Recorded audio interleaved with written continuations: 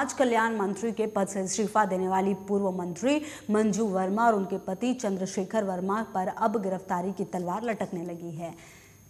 चेरिया बरियारपुर थाना कांड संख्या एक सौ तैंतालीस ऑब्लिक अठारह आर्म्स एक्ट के मुकदमे में पूर्व समाज कल्याण मंत्री मंजू वर्मा एवं पति चंद्रेश्वर वर्मा की अग्रिम जमानत याचिका को एडीजे पाँच की कोर्ट ने खारिज कर दिया है। विगत 17 अगस्त को मंजू वर्मा और चंद्रशेखर वर्मा के बेगूसराय के चेरिया बरियारपुर स्थित आवास पर सीबीआई की छापेमारी के दौरान बरामद सभी 50 जीवित कारतूस अवैध पाए गए हैं। इस मामले में सीबीआई के डीएसपी ने मंजू वर्मा और उनके पति के खिलाफ अवैध हथियार व कारतूस रखने की चेरिया बरियारपुर थाने में प्राथमिकी दर्ज कराई थी। बेगूसराय पुलिस ने जब्त किए गए सभी कारतूस को जाँच के लिए पटना स्थित विधि विज्ञान प्रयोगशाला भेज दिया था।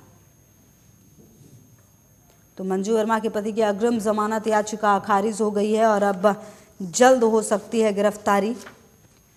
मंजू वर्मा के घर से कई अवैध सामान बरामद हुए थे और अब देखना होगा कि क्या कुछ इस सब पूरे मामले में सामने आता है।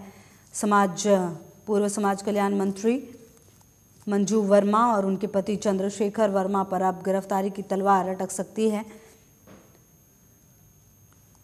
विगत 17 अगस्त को मंजू वर्मा के बेगूसराय के आवास पर सीबीआई की छापेमारी के दौरान काफ़ी कुछ ऐसे अवैध सामान पाए गए और जिसके बाद बेगूसराय पुलिस ने जब्त किए गए सभी कारतूसों को जाँच के लिए पटना स्थित विधि विज्ञान प्रयोगशाला भेज दिया था।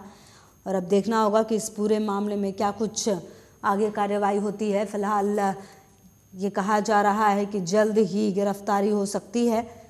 पूर्व समाज कल्याण मंत्री मंजू वर्मा और उनके पति चंद्रशेखर वर्मा पर गिरफ्तारी की तलवार लटकती हुई दिख रही